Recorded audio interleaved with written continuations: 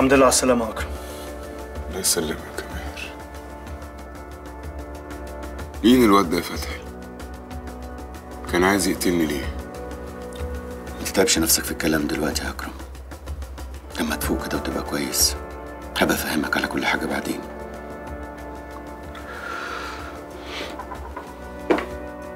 خفيت الأمانة. حصل. في المكان إياه. تمام. أنا مش عارف يا أخي إزاي سراج يعمل معانا كده. سراج ده كلب فلوس. أول ما لقى نصيبنا في عملية الاعتزال كبير زغلل عينيه وطمع فيه واستخسروا فينا. وقال بالمرة يقطع أي خيط وراه. بس أنا اللي غلطان عشان عملت حساب كل حاجة إلا الغدر. أنت يا فتحي تحمد ربنا إنك كويس أنت وأكرم. ده غير كمان إن الورق كله معانا.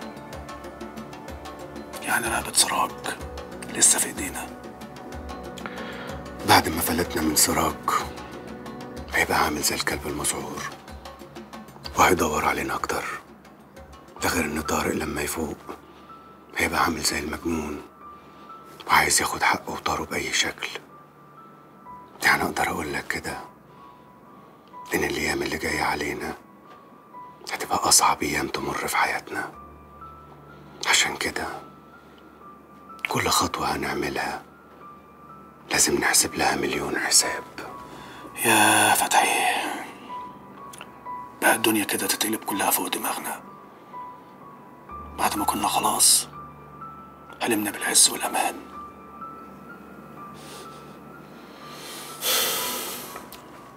بقول لك يا فتحي روح أنت ارتاح لك كام ساعة. ارتاح كويس وركز. عشان نشوف هنطلع إزاي من البلوة السوداء اللي إحنا فيها دي. وأنا هستنى هنا مع اكرم لحد ما أنت ما تروح وترجع لنا تاني.